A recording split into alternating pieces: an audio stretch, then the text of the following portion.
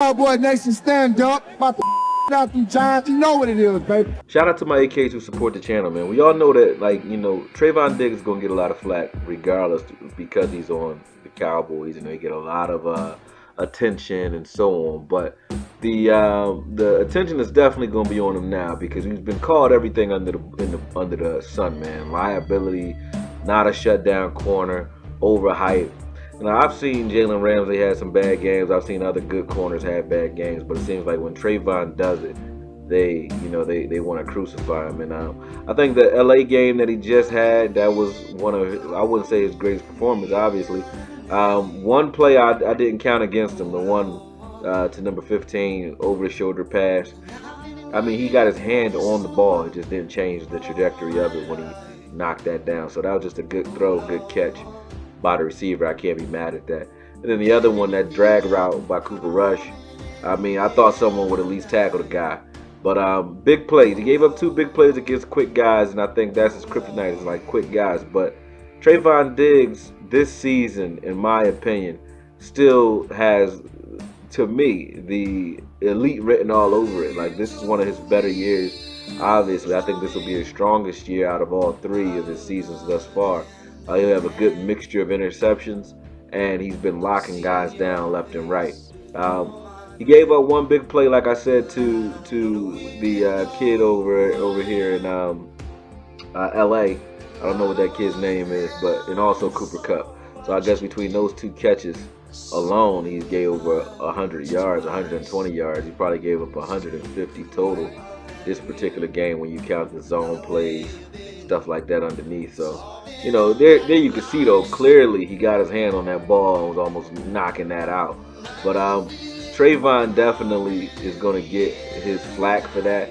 But one play doesn't make the man, man. When you look at uh, the body of work that Trevon has put together this season thus far, uh, he's just night and day different from everybody else that's out here. And I mean, his ball skills, the way he approaches the game, some of the things he does uh, as far as communication and so on. Like he's a different breed, and I think they're going to start switching a lot more wide receivers to corners in college to try to get this same effect because he's just natural at going after the ball, and sometimes he does pay for it. But I don't think he's had a lapse in judgment this year. Uh, those two big plays, you know, the offense, as I said, they have to, they have, they perform too. They get paid too. So um, those two plays were big plays, but he was where he needed to be on both of them. Um, I just felt like he just didn't finish on the drag route. Uh, he could have secured that tackle when you're one-on-one. You have to, um, and then also on that deep play, um, he just didn't change the trajectory of the ball. Like he got there, he got his hand on the ball. That was just a great play by the receiver. But he's, he's a student of the game. The things that he's starting to do now, he's going to see something special out of Trevon Diggs this upcoming or this season as the season progresses. Uh, he, he was sitting on the sideline just now looking for the out and up against the Washington Commanders, and then you can see uh, he calls the out and up and then runs diagonally straight through the route so that he can cut this route off and did an excellent job with it. So, as I said, like, you know, even Dez knows what's up, but as I said, uh, Trevon is the type of player that you don't see come around uh, that often. You know, you have man cover corners, you have corners who are just lights out, can stop any and everything, but for the most part, the, the, what I look at when I see his, his game and the way he plays is a guy who thinks that the ball is being thrown to him uh, when the opposition throws the ball, and he's always in pretty good position. Um, I'd say that the big plays that he's given up uh, in the Rams game, it's one thing to have Trevon, you know, just mad because the media's been on his ass all off season.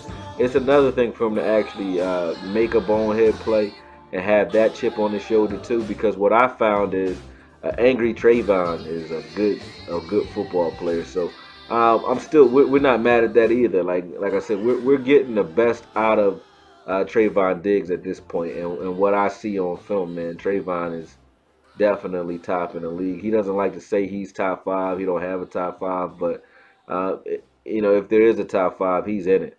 Uh, he's in it, and I'll go ahead and put him there. There go LV not committing to that interception right there. He could have got, but uh, you know that's LV for you, man. That's why Cox need to be in there eventually. Um, shout out to the Cowboys. Shout out to Trevon Diggs for for the way he's put together this season thus far. Um, I feel like you know this season you'll you you're going to see some uh, cornerback play that's uh, that's a, that's rare. He's in rare form right now, uh, and I'm glad that he gave up those plays in the um, Rams game because, like I said, you're going to get the best out of Trevon Diggs now, and uh, it's really going to be something, man. So.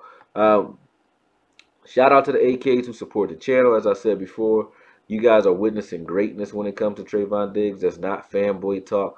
I really think that Trevon Diggs is one of the best corners in the league, if not the best.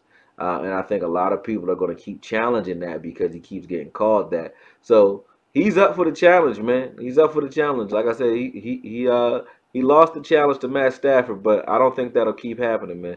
Let's see what's up though. Peace.